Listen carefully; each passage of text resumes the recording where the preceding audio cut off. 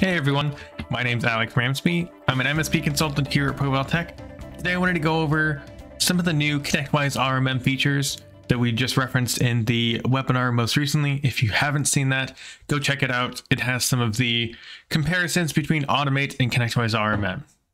Anyway, without further ado, let's get into it. So once you log into ConnectWise RMM, your portal should look very similar to this.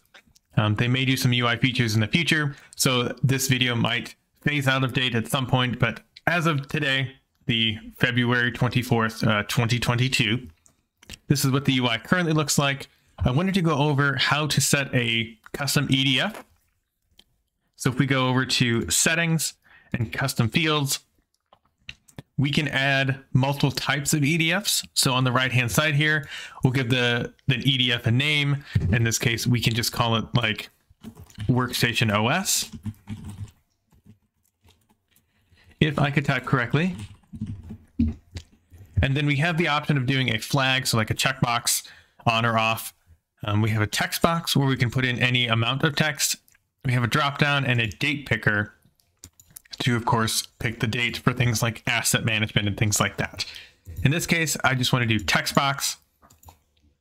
And the default value, if you want anything in here, you can definitely set that. Otherwise, I will leave that blank.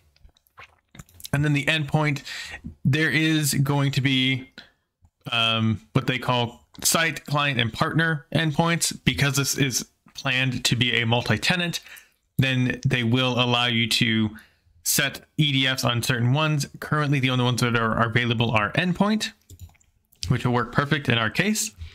And then editable, you can say yes or no if you want this to be updated only by scripts or some automation, or you want somebody to be able to update it if need be. In this case, I want to say just leave it as editable. And it looks like I do have to enter a default value here. So I will just write Windows 10. Give this a description.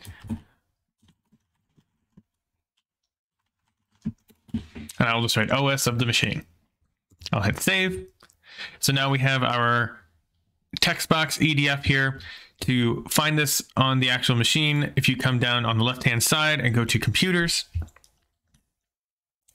if I just pick up a test machine here, there is now a custom field uh, sub tab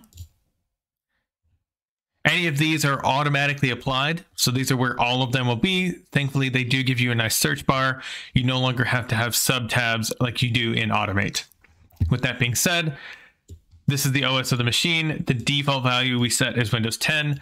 I can update this to Windows 11 if need be. That may help with your automation later. And speaking of automation, check out the next video where I go into where to be able to pull that into a script. Thanks for watching.